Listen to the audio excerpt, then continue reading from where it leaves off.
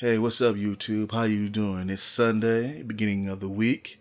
I know a lot of you hating that because y'all partied all weekend. But today we're going to talk about the released photos from Asus of the upcoming ROG Matrix series graphics cards, the Matrix R290X and the Matrix GTX 780 Ti on a custom PCB with a dual slot cooler and for you pro overclockers, yes, LN2 options are available.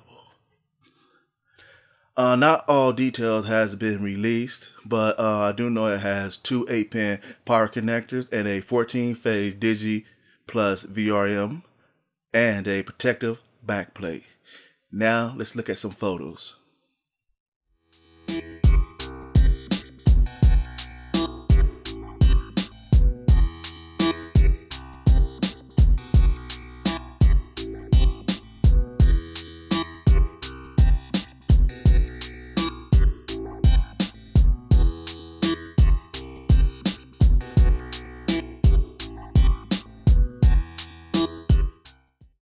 Thank you for watching. It means a lot to me. Please like and subscribe and share with anyone that will benefit.